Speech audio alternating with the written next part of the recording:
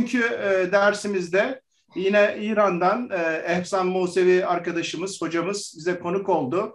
E, bu da e, Digital Design e, Sketch'in ikinci e, bölümü. E, Ehsan hocamız bugün size Sketch e, Pro'yu anlatacak. Değil mi hocam? Aynen Sketchbook Pro Autodesk'in anlatacak ve burada Autodesk'in ücretsiz temini vardı. Size de geçen hafta ben söylemiştim zaten. Ee, biraz izleyeceksiniz nasıl olacağını. E, şeyine Ehsan hocamız size aktaracak. E, nasıl yapılır, ne yapılır. E, yine e, muhtemelen Ehsan hocam ama ben yazmıştım. E, Falling Water ya da şey Şelale eviyle başlanabilir. Ya da diğer arkadaşların önerileri olursa da onunla ilgili de zaten bu konuda tecrübeniz sabit. Destek olursanız sevinirim e, Ehsan Hocam. E, bu arada sizi şeyle tanıştırayım. Sinan e, Kayakaran hocamız da var. O da izlemek istiyor. E, dijital olarak, konuk olarak da e, tabii ki izleyebilirsiniz dedik. E, belki de sonra da bize konuk olur. E, tecrübesiyle bize destek olur. Mimar gözüyle nasıl değerlendirilir, ne yapılır diye. E, Sinan Hocam siz de hoş geldiniz. Kusura bakmayın. Teşekkür ederim. Sağ olun hocam. E, ben şimdilik bir e, görüşme için ayrılacağım. Buradayım. E, bir şey olursa yine e, haberleşiriz. E, Ehsan Hocam sözü size bırakıyorum. Buyurun. Share screen yapayım. Direkt e, Autodesk Sketchbook Pro üzerinde oradaki menüleri falan anlatsın. E, ben çok teşekkür ederim. Dünyaya iş yaparken e, bize ve üniversitemize bu şekilde vakit ayırdığınız için ayrıca teşekkür ederim. Sağ olun. Ben teşekkür ederim hocam. Mehmet hocam anlatmış ama e, bilmiyorum ne kadar e, hakimsiniz böyle perspektif konularına. O yüzden yani siz karar verin. Eğer isterseniz sıfırdan bir şey yapalım, o şekilde yapabiliriz. Veya eğer isterseniz bu Mehmet Hocam'ın söylediği Waterfall House'ı e, böyle render yapabiliriz. E, şimdi e, arkadaşlar e, fikirlerini söylesinler. Ben de izlediğim kadarıyla böyle sanki bir e, bina alsak da onun resmini eskiz etsek daha doğru olur gibi geliyor. Okay, ee, tamam. Yani e, oradan eklenti yapacak bir sürü eskiz çıkabilir. E, yani düşüncelerini aktarmak için insanlar çabucak çizmek zorunda kalabilir gezli, gezmeleri esnasında. E, bunu dışarıda da görebilirler. E, dergi veya tekst okuyorken de bakabilirler. Bir, kısa bir örnek olsun ama bir, bir yerden bir bakalım bir şeyden e, ressamlık değil mimarlık ama sonuçta e, bir şeyler görerek projelere ekleme yapılıyor. E, Aynen. Bir, e, o tarz bir çalışma nasıl e, yapılıyor bu uygulamada onu görelim. Ondan sonra siz arkadaşlarımızın da önerileri olursa ona göre de bir örnek daha yapabilirsiniz. Teşekkürler. Aynen. Sağ olun. E, şu chat kısmında da Waterfall House yapalım demişler. O yüzden e, öyle devam edelim. Ben ilk başta şey, e, Waterfall House'tan bir e, resim var. Onu getireyim. Bunun üzerinde bir şey anlatmam gerekecek. Şu. Gördüğünüz gibi istediğim resmi e, buraya drag and drop yapabilirim. Yani her türlü resim olabilir. JPEG veya PNG. E, şimdi buraya getirdim. Şöyle bir şey dikkat etmemiz lazım. Ee, burada canvas size önemli. Yani biz eğer atıyorum mesela bu eskizimizi, bu renderimizi e, böyle büyük boyutlarda istiyorsak canvas size yani resolution çok önemli. Gördüğünüz gibi bu fotoğrafın resolution'ı düşük olduğu için 560 çarpı 430 küsür e, piksel. Bu aslında çok küçük. Yani bunu eğer sonra eskiz üzerinde yaparsak o da ufak olacak ve e, büyük boyutlarda bunu şey çıktısını e, falan alırsak detaysız olacak. O yüzden ben şunu büyütmek istiyorum. E, şu image kısmında image size'a geliyorum. Burada atıyorum mesela 3 kat daha büyük yapmak istiyorum. Tabii fotoğrafın e, kalitesi o kadar iyi olmayacak ama bizim için önemli değil. Biz zaten bunun üzerinden kendimize bir eskiz yapmak istiyoruz. E, bir de ben sağdan ve soldan biraz e, genişletmek istiyorum. Nedenini şimdi birazdan söyleyeceğim. 3000 yapalım. Okey. Şimdi bu fotoğrafı getirdik. Ben e, aynı e, binanın, zaten bu mevcut bir bina. Ben e, fikrimden yeni bir şey eklemiyorum. Sadece bunu e, nasıl çizebilirim onu anlatmak istiyorum. E, bu gördüğünüz gibi bu getirdiğim fotoğraf bir layer içerisinde. Layer'ın opacity'sini şu şekilde düşürebilirim. Sıfır olduğu zaman zaten gözükmez. Yukarı geldiğim zaman e, biraz daha netleşiyor. Ben bunu atıyorum mesela %50 e, falan gibi miktarda götürüyorum. Yeni layer aç, açıyorum şununla. Add layer. E, şimdi burada e, çizgilerimi çizmem lazım. Çok basit bir şey eğer yapmak istiyorsak yani hiç hiçbir şey düşünmeden şuradan anlattığım gibi bu çizgi line çizmeyi seçip şöyle koyabiliriz. Ben bunu biraz daha ufak yapayım. Şöyle. Ama bu e, şey, bu aslında cheat gibi bir şey. Yani gördüğünüz gibi kapattığım zaman çizgiler ortaya çıkacak. Ama bu mantıklı değil bence. Neden? Çünkü yani en azından bir mimar olarak kendimiz bir şey düşünerek yapmamız lazım. Yani perspektifi en azından. Ee, şimdi bunun e, horizon line'ı ve e, vanishing pointlerini bulmamız lazım. Gördüğünüz gibi hatırlıyorsunuz şu perspektifte iki tane noktamız vardı. Bunun da o noktalara e, kesin ihtiyacı var. Bu her fotoğraf bir perspektifi var. Şimdi atıyorum mesela şunu şuraya koydum. E, bunu çizdiğim zaman gördüğünüz gibi sıkıntı var. Yani doğru yerini bulmak lazım. Veya şu taraf mesela bu çizginin devamında gelmiyor. Onu bulmak için ters bir şekilde yapacağım. Ben daha açık bir renk seçiyorum. Ee, şu line çizgisini, line seçeneğine götürüyorum. Şuradan uzak olan bir e, şeyden, nasıl söyleyeyim, bir noktadan. E, şimdi gördüğünüz gibi bunun devamını getireceğim. Bakalım mesela en son ne kadar gider? Şuraya kadar mesela. Biraz koyu olması lazım.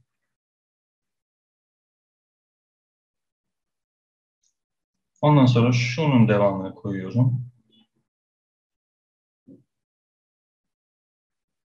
Şu çizgi. Gördüğünüz gibi bu seçtiğim çizgiler hepsi belli bir noktaya gidiyor. Yani hepsinin e, hepsi paralel.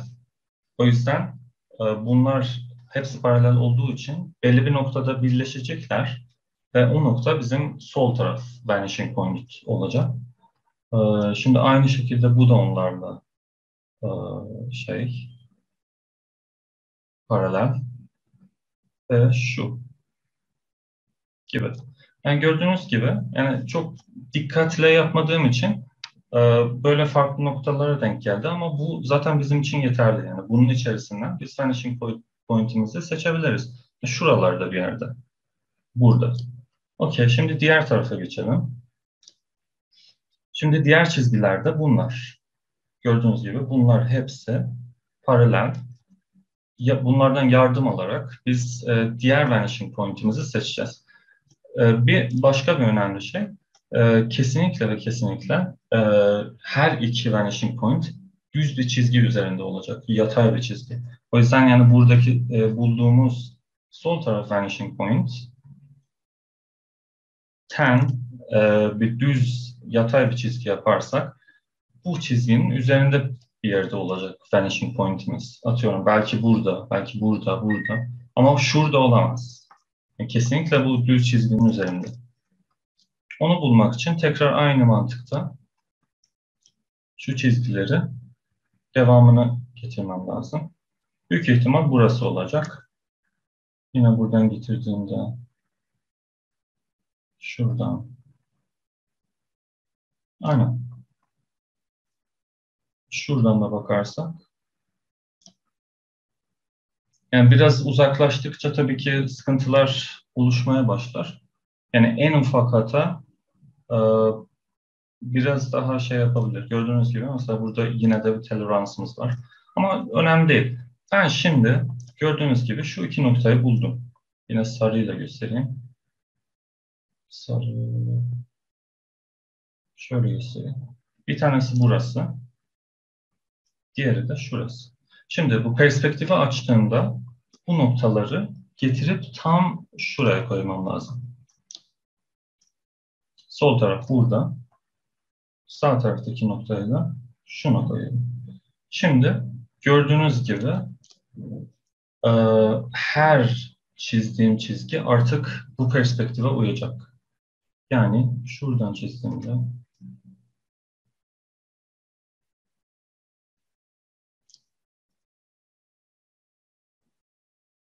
şurası, şurası, şu. Gördüğünüz gibi bunların hepsi e, yani fotoğrafı kapatsak bile bu çizgiler yani bu perspektif doğru bir şekilde bize şey e, istediğimiz şeyi e, yani bize assist ediyor aslında. Yani perspektifimizi artık bulduk. Yani e, bundan şunu çıkartabiliriz. Bakın e, mesela şurası bu düz çizgi e, fotoğrafı çeken kişinin yüksekliği aslında. Yani onun gözlerinin leveli bu çizgi e, hizasında. Şu sağ ve solda e, perspektifin iki vanishing point'i. Şimdi bundan yola çıkarak e, istediğimiz bir renk seçebiliriz. Mesela ben direkt beyazla, siyahla yapacağım. Bunun üzerinde şimdi önemli çizgileri çiziyorum.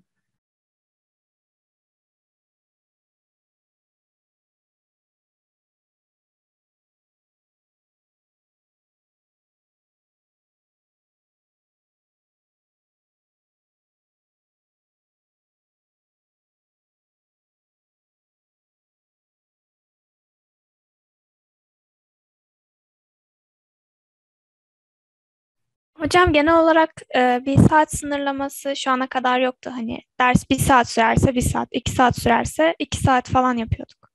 Tamam.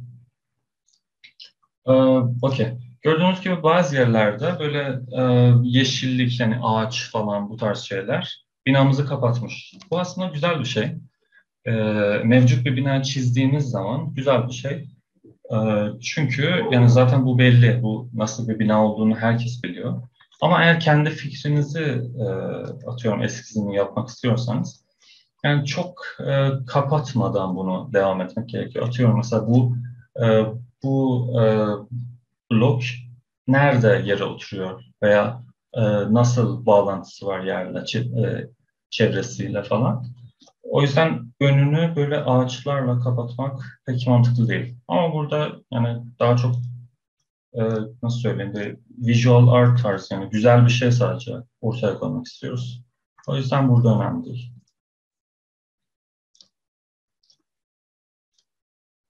Okey. Şimdi binanın neredeyse e, şekli ortaya çıktı. Burada giriş tarzı bir şey var. Bu bizim çizgiler. Yani perspektifi kullanarak çok hızlı bir şekilde e, önemli olan çizgilerin hepsini çıkarttık. Şimdi bundan sonraki aşamada ne yapabiliriz? E, ben yeni bir layer açacağım. Perspektifi kapatıyorum. Çünkü artık o çizgilere şu an ihtiyacım yok. E, burada şu an neler görüyorum? Buradaki e, yeşil e, nasıl söyleyeyim? Böyle ağaçlar falan. Ee, ağaçları da çizmesini zaten direkt trace de yapabilirsiniz. Yani gördüğünüz şeyin aynısını çizebilirsiniz. Ama yani gördüğünüz gibi zaten fotoğrafta net değil. Ee, o yüzden ben kendim böyle çok basit bir şekilde e, çevresini yani dış çizgilerini yapıyorum.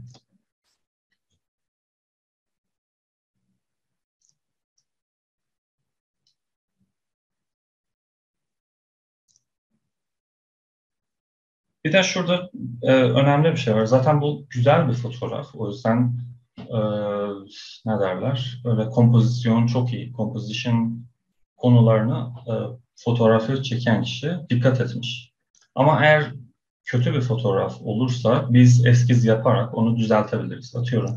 Mesela binamız e, eğer böyle olsaydı mesela şöyle bir şey olsaydı gördüğünüz gibi şu taraf çok ağır. O yüzden e, mesela şuraya getirip ağaçlar falan koyabilirdik. Ki biraz daha simetri falan sağlasın diye. E, bu arada ben e, şunun sadece şey kısmını beğenmedim. E, gördüğünüz gibi binanın üstünde, üst kısmı çok e, az yer var gökyüzünü göstermek için. O yüzden ben tekrar e, canvas size'a geliyorum. Üst kısmını biraz daha artırmak istiyorum. Şöyle. Yani benim frame'im aslında şöyle olacak. Şu tarz bir şey. Ama fotoğraf öyle değildi yani alt kısmından gördüğünüz gibi yani çevreyi binadan daha çok gösteriyor. Ben onu istemiyorum. Ben daha çok mimariye odaklanmak istiyorum. O yüzden yani böyle bir canvas bizim için daha mantıklı olabilir.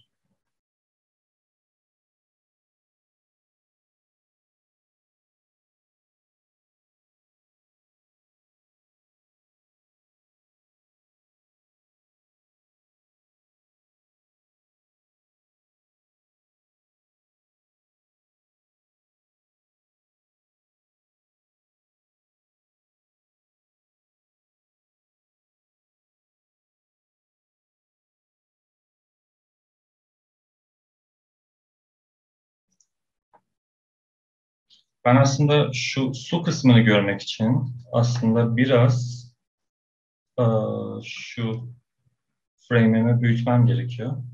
Yani frame'i şuralarda kapatmam daha mantıklı.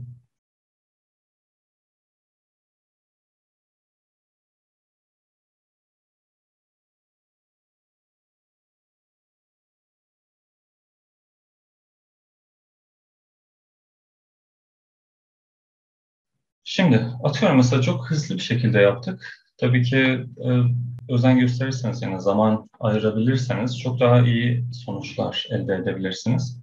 Ama şu anda yani time limit olduğu için bu kadar yeterli. Ama gördüğünüz gibi bu çok flat gözüküyor. Yani e, nasıl söyleyeyim hiçbir depth yok bizim yaptığımız şeyde eskizde. O yüzden e, ben şimdi gölge ekleyeceğim. Gölgeye de yeni layer açacağım. E, multiply diyorum. Biraz e, opacitini düşürüyorum. Sonra şöyle bir brush'la bu brush'ı önceden göstermemiştim. Bu e, texture brush aslında gördüğünüz gibi. Şöyle bir efekti var. Yani bu da zaten programın içerisinde yani siz indirdiğiniz zaman bu da içerisinde gelecek.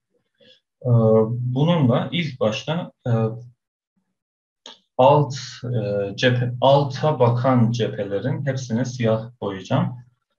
Atıyorum mesela şurası var.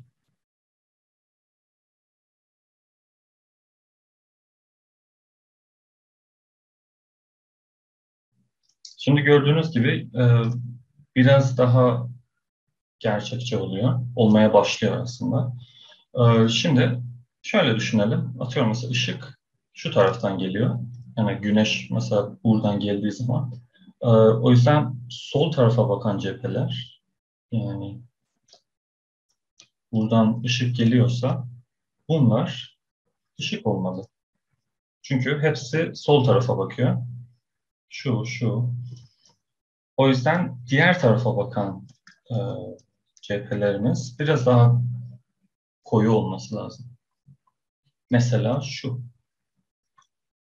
Biraz e, fazla olmaması için rengi e, daha açık gri seçiyorum.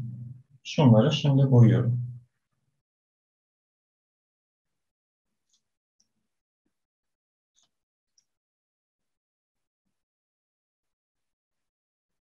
Gördüğünüz gibi güneşi şu taraftan, sol taraftan düşündüm.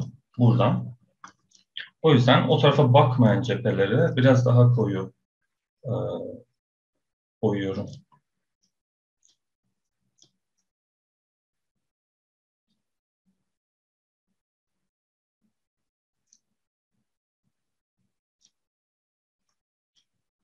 Şimdi bunu şununla kıyasladığınız zaman önceki hali böyleydi. Bu gerçekten bir kağıt üzerinde bir şey gibi gözüküyor.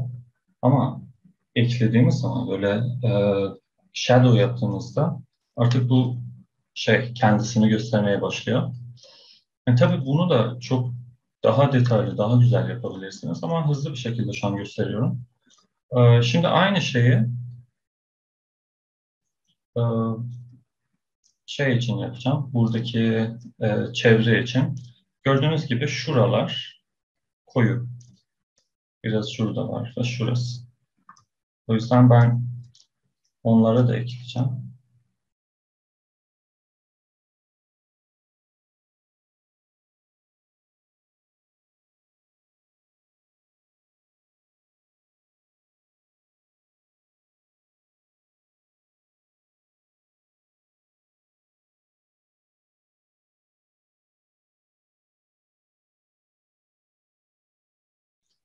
Okey.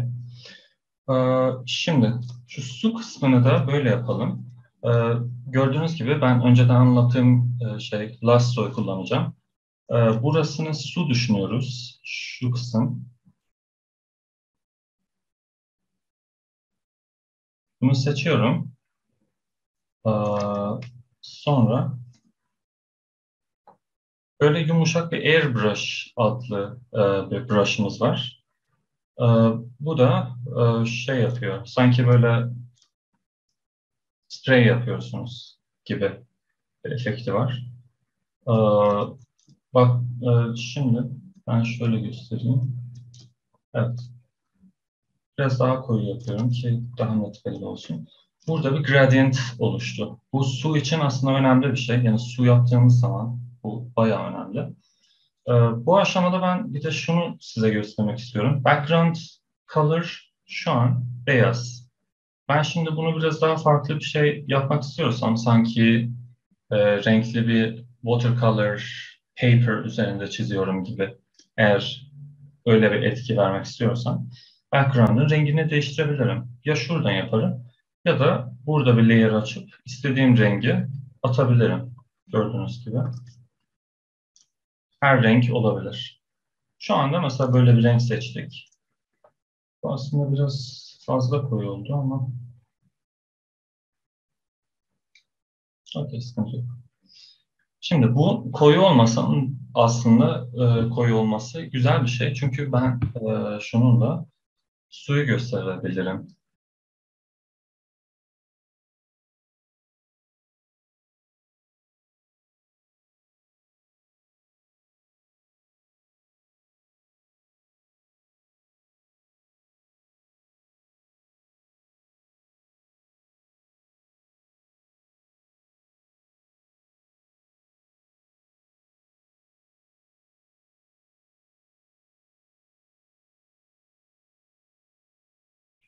Ben şu an yaptığımız binanın çevresini seçiyorum. Gördüğünüz gibi.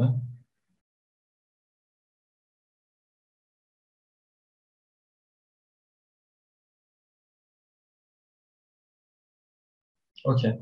Şimdi e, yine en altta bir layer açıyorum. Beyaz rengi seçiyorum. Ve airbrush'ı kullanacağım. Şimdi e, bu kısım tamamen seçilmiş. Gördüğünüz gibi. O yüzden e, ben şu an bu efektle e, binanın ortasına bu şekilde bir efekt vereceğim. Sanki e, oradan bir ışık geliyor. Bu ışık geldiği zaman bizim bina kendisini daha iyi gösterebiliyor. Yani daha perspektif etkisi var. Daha canlı gözüküyor. O yüzden bu da güzel bir şey. Yani kullanırsanız sizin çizimler bayağı etkiler. Bir de altında atıyorum mesela gökyüzünün rengi nasılsa, nasıl istiyorsanız o şekilde de boyayabilirsiniz.